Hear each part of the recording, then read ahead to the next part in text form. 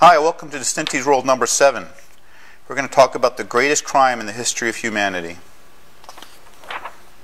If people were being systematically robbed, dehumanized, and exterminated, there'd be a national outrage, a call to action, a crusade would be launched to end the inhumanity.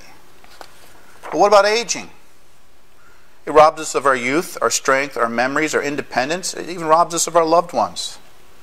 It, dehuman- it dehumanizes us until it finally kills us.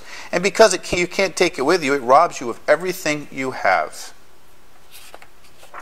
And you can't escape. You can be liberated from a death camp or a gulag, but there's no such hope for aging. Even worse, this is the worst part. Because humanity loses its wisest and most experienced people, the human race remains inexperienced and doomed to repeat history all over again. There's a famous person who said, The problem with life is by the time you figure it all out, you die. And when despots like Adolf Hitler give their fiery speeches that electrify people into going off, into committing atrocities, um, ask yourself a question. If you have an audience where a despot gives a fiery propaganda speech that's of average age 40 years, let's say, and you compare that to, let's say, you had an average audience age of 4,000 years or even 40,000 years. Uh, what do you think is going to be the difference in the result?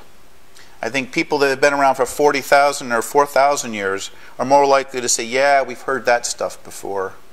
Yeah, we're not going to be taken by that nonsense again. Okay, so, and then if you look at World War I, now the young people back in World War I are a lot different than the young people today. Okay, um, because there was no internet, there was no like global knowledge base, if you will. And so when your whole outlook in the world is based on the, the, the propaganda that your government gives you, there, there's six basic appeals that were made uh, to, to recruit men to fight, young men to fight in World War I. Here's a Canadian enlistment poster, and they give you patriotism, job, career, adventure, challenge, social status travel and miscellaneous to entice people.